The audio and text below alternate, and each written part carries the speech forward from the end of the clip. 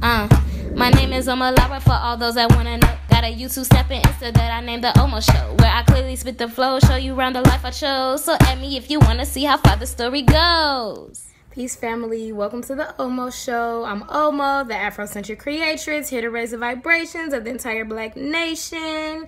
Yesterday, I told y'all that I was going to do a video on why I don't support Planned Parenthood, but I really just want to talk about why I don't support healthcare in general, doctors, why I don't trust them, why I don't trust Planned Parenthood that goes along with it. Um, few points. One, okay, let me just start off by saying this. Most of us are aware that there is history that has been lost to the past and everything that we're pretty much hearing today about history could be somebody's biased opinion. So, I'm very understanding of that. I just want y'all to know that I'm not saying by any means this is complete fact. I'm just saying that this is the rumors or this is how history has transpired and how it's been brought to my attention in recent years. When it comes to Planned Parenthood, it is said, some people know, some people don't, that the founder of Planned Parenthood, Margaret Sanger, was a racist woman who believed that, and I'm not going to necessarily call her a racist, but she believed that blacks and different people of color were racist. They were like human weeds that needed to be exterminated or whatever. Like, these are supposedly her words. It is a picture of her actually talking to uh, members of the Ku Klux Klan which if you actually uh, research that information you find out that it was like a woman uh, sector of the Ku Klux Klan that she was talking to, and the way that Planned Parenthood and supporters of Planned Parenthood like to try to mask that over is by saying that uh, Margaret Sanger didn't necessarily want to talk to that group, but she was open to talking to every group to spread her ideas. She was a eugenics, and if anybody knows anything about eugenics, she was a believer that um, the superior races or the superior people uh, should be the ones that are reproducing children versus those who have the poor circumstances. If you look on Planned Parenthood or anything that supports Planned Parenthood, they're going to say that she didn't outwardly say, yo, we need to exterminate these black people. But yes, she was a supporter of eugenics, but they do admit that, but they don't necessarily say that she was here trying to get rid of black babies and children. Two different statistics when it comes to where Planned Parenthoods are located, their abortion services. One statistic that I found showed that there are 79% of uh, Planned Parenthood services that are located within black and brown communities. And another one that I saw shows that there are 60% within white communities. So we can know that one is a supporter of Planned Parenthood, the other one isn't. So like I'm saying, it's a toss up within the information. But one thing we do know if she was in a picture with Ku Klux Klan, that's something that they can't make up. I've seen the picture for myself. And um let's move on. Uh as far as the healthcare system in general, every not everybody, everybody doesn't know this. And if you didn't know this, there has historically been evidence and proven to be that doctors were sterilizing black women, meaning they were taking away their ability to reproduce without the black woman's knowledge. She would sign papers, or not even sign papers, but it was with the idea of uh, they have the right to do X, Y, and Z when they believed that a person was not fit to be a mother. They would take a woman's circumstances, whether she was black and poor or whether she was just black, whether she was just poor or whatever the case may be, and the woman could wake up and have her tubes tied or be sterilized in ways that she didn't want to be, taking away her her her option to have children for the rest of her life. You know, when she thought she was going in for surgery for this, she comes out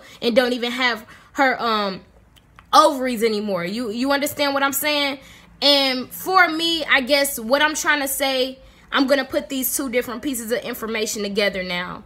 I know historically this is what the healthcare system has done to black women. We talk about black reproduction all the time, women's reproduction, black women's reproduction and reproductive health and reproductive justice all the time within my field, which is psychology and African American studies. I also study kind of women's studies a little bit. Um, and it, it comes up. It has come up many times. Um, I've I've read many historical uh, artifacts of women talking about this experience and I've seen many videos of women talking about this experience, and this was just in the 50s and the 60s that it happened to them. You understand? And the healthcare system did do that to them.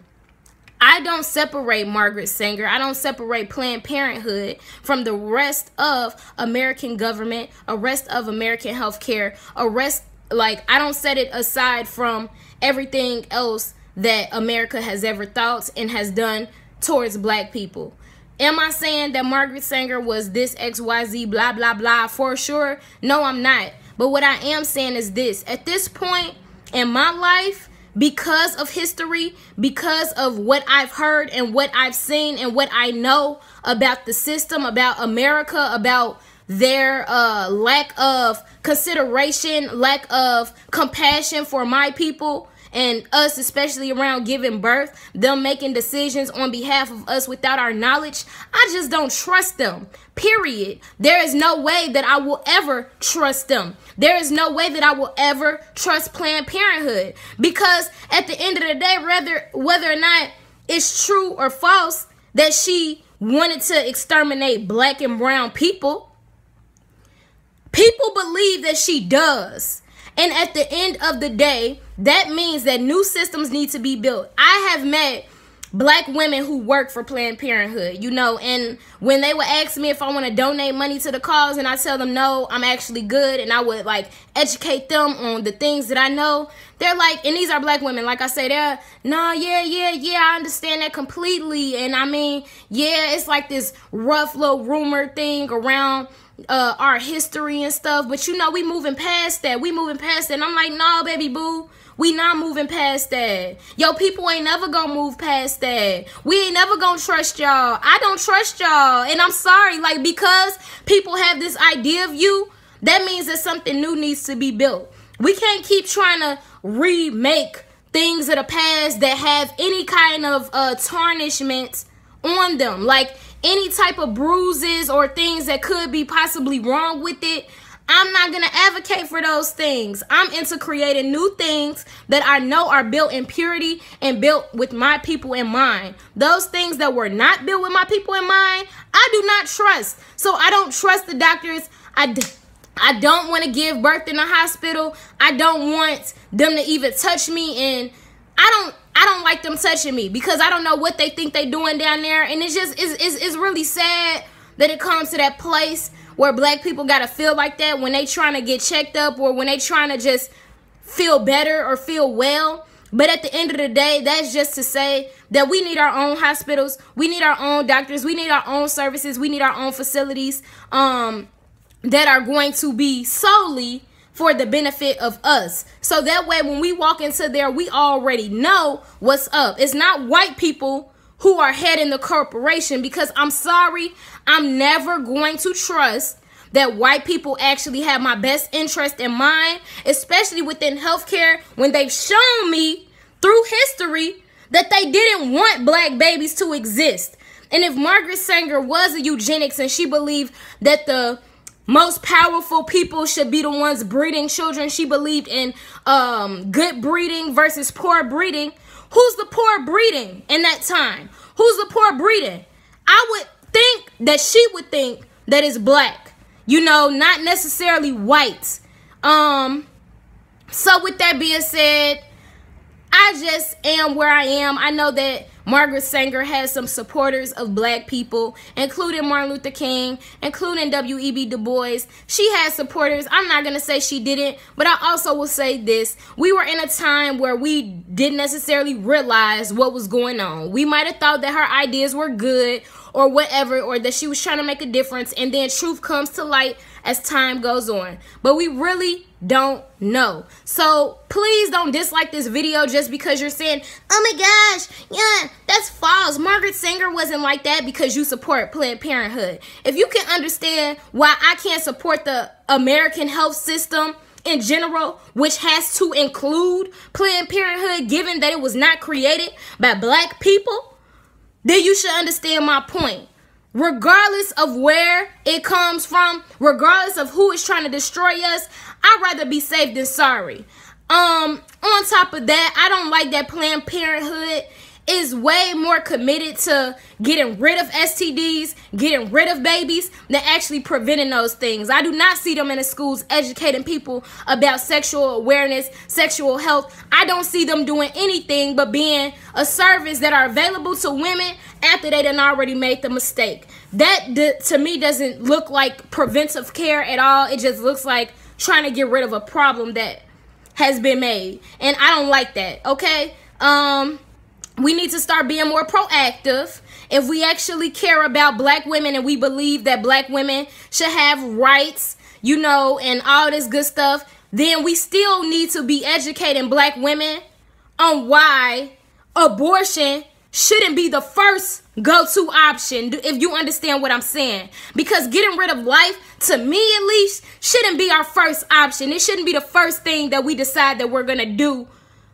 but that's usually what we do after we already make the mistake. It needs to constantly be an education around sex, what happens with sex, and why it is important to make sure that we are sexually smart or knowledgeable so that way we won't be in certain positions where we feel like we have to get rid of a baby. You know what I'm saying? Um so yeah, that's that's pretty much everything. I ain't really got more to say, but just that I don't trust these jiggers. I don't trust these jiggers. No, they don't. No, no, no, no. No, no, no, no, no, no. All right, y'all. I have any questions, let me know. Comment, like, subscribe, whatever you want to do. I know everybody not going to agree with me, and that's cool, whatever. But like I say, this is me when I go to the hospital. I'm not really, I don't go to the hospital like that, you know, just because I don't really trust them like that. And at the end of the day, I'm just trying to tell my people to be aware that history does exist and we don't know if that history is over. So let's build something new that is based on a clean history, based on purity, based on our interests, our needs, and our wants for ourselves and our nation. If you understand what I'm saying here.